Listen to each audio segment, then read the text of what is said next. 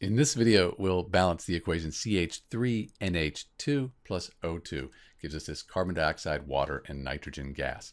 So let's count the atoms up and balance the equation. We have one carbon, and then hydrogens, we have three plus two. We have five. Make sure you count these two. One nitrogen, and then two oxygen atoms. Product side, we have one carbon, two hydrogens, two nitrogens, and then oxygens, we have two plus the one.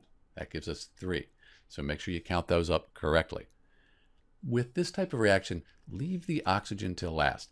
That's because we can change the oxygen in the end and it won't affect the carbon, hydrogen, or nitrogen because it's all by itself. So we'll leave the oxygens till last.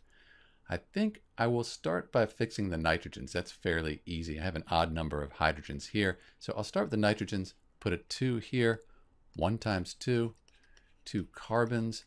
For the hydrogens, I have 2 times 3. Let's update the hydrogens here. So I have 2 times 3, that's 6, plus 2 times 2, that's 4. So I have 10 hydrogen atoms. 2 times 1, that gives me the 2 nitrogens. That's what we were trying to balance. But that's good. This is now an even number. So we could fix the hydrogens by putting a 5 in front of the H2O. Now I have 2 times 5. It gives me 10 hydrogen atoms. That's good. Let's update the oxygens.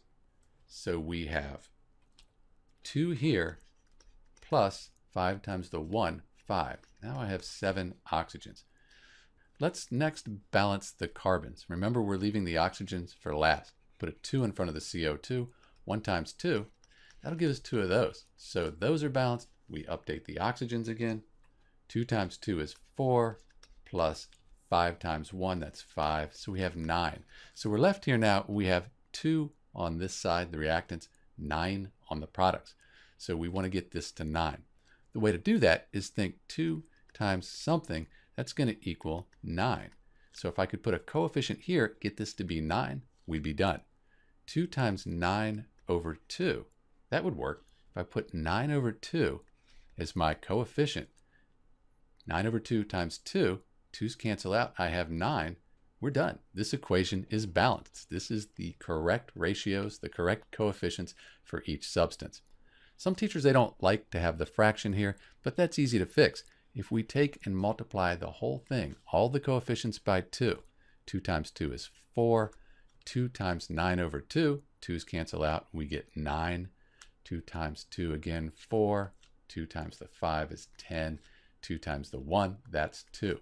So these coefficients here are whole numbers. Either way, really either one of these answers is correct. When we balance equations, we're only interested in the ratios. That's what's useful to us as chemists, those ratios. So this is the balanced equation for CH3NH2 plus O2. And this is Dr. B. Thanks for watching.